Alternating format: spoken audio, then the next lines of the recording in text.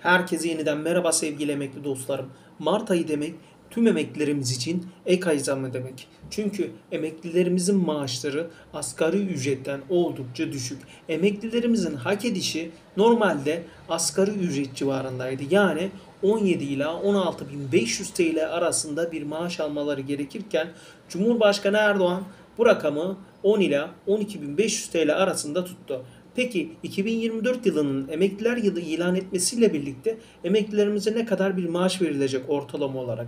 Yazın ortasında SSK Bağkurlu emeklimize 17.500 TL'ye kadar maaş tahmininde bulunurken bizler ayrıca Mart ayında yeni bir eksamla CNN, intibak ve diğer faktörlerle birlikte dul yetimler de bu maaşlardan yararlanabilecekler.